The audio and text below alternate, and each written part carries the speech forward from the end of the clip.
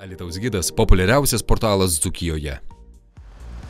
Antradienį girtos moters kelionę sustabdė šalia pešių ir dviratininkų tilto pastatytas apšvietimo stulpas. Nelaimė atsitiko, kai 57 metų moters vairuojamas Opel Vectra, važiuodamas su dvajų gatve miesto centro link, ties kepyklos gatve užvažiavo ant šalikelės ir rėžėsi į apšvietimo stulpą. Atvykus įvykio vietą pareigūnams e, paaiškėjo, kad moteris, kuri vairavo Opel Vectra automobilį, 57 metų, buvo neblaivi ir ji e, įputė net 3 promilės e, į alkotesterį. Moteris po eismo įvykio buvo išvežta į ligoninę patikrinti jos sužalojimų, tačiau sužalojimai nebuvo nustatyti sunkus ir sudėtingi, todėl ji buvo sulaikyta ir uždaryta į reštinę. Šiuo metu ji vis dar yra reštinėje ir po pietų planuojama jos apklausa. Neturėjo nei jokių administracinių, nei juolab baudžiamųjų kažkokios atsakomybės.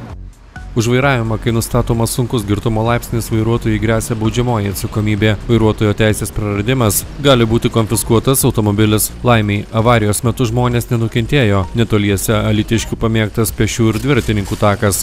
Iš tikrųjų laimė, kad neįvyko didesnė uh, nelaimė ir moteris taipogi nenukentėjo labai stipriai. Uh, laimė, kad nenukentėjo kiti asmenys ar kitų asmenų turtas.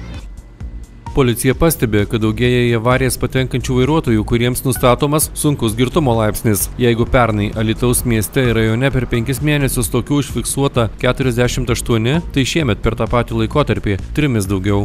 Jeigu kalbėtumėm apie būtent neblaivių vairuotojų apie neblaivius vairuotojus ar jų sukeliamas eismo, eismo įvykius, tai yra nežymus padidėjimas būtent vairuotojų, kurie vairuoja automobilius neblaivus, kai jiems nustatomas didesnis kaip 1,51 promilės girtumas.